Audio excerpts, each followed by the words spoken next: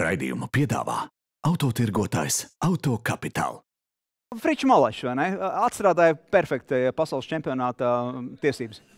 Nu, man liekas, ka jā, zin, kā visi tādi skatās mazliet ar tādu nievājošu attieksmi, bet uh, es domāju, ja mēs būtu nošancējuši tā ar tādu apjomu savā pasaules čempionātā, mēs būtu priecīgi. Un, Un tas, ko es redzēju, kā viņi gatavojās visu sezonas garumā, kā viņi to izdarīja mājas, nu, teiksim, tajās sacensībās un kā viņi brauca, mm. nu, īsti jau pārmest tur nav ko. Lielā mērā jau arī eh, tava ceturtā vieta, un pēc tam mēs paskatāmies arī no nu, šos te pašus pasaules kausa līderus, kas tur čupojās visu sezonu, kur viņi ir vēl pēc tavas ceturtās vietas. Ja? Nu, tad tur arī ir skaidrs, ja, ka ir vācieši, un tad ir mazais eh, pasaules čempionāts, ja var teikt. Nu, jā, būtu, mēs jau smējāmies, būtu viņi seši, viņi arī seši priekšā aizbraukt. Un, jo, jo tā viņi ir stipri un uh, augšdaļā, protams, nu, es nerunāju vēl par savu tur sniegumu. Man tur tā braukšana nebija tik laba, lai tur pa kaut ko pacīnītos. Bet, uh, savā būtībā viņi visi izdarīja tā, kā pienākās mm -hmm. mājas trasē.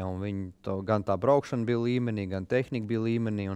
Viņi visi, bija, viņi visi izdarīja tā, Martin, kā tā kopumā mēs paskatāmies, tavs sasniegums super sezona. Pasaules kausa izcīnīts, Eiropas čempionātā esi arī uh, uz piedestāliem stāvējis, kritis, bet tomēr esi tur. Un, uh, godīgi sakot, joprojām dominanti. Joprojām dominanti. Nu, es neteiktu, ka varbūt kaut kāda dominanta, bet uh, tā jau bija cīņa, jo sākotnēji tā sezona iesākās. Uh, nu, redzēs, kā tur ies, un, protams, parādās kaut kāds sportiskais azarts, ka tu redzi, ka tev ir iespēja pacīnīties par to kopvērtējumu un negribās arī atdot kādam Jā. citam vienkārši tā, un uh, tad, tad, tad pacīnījāmies, un viss tā forši sanāca.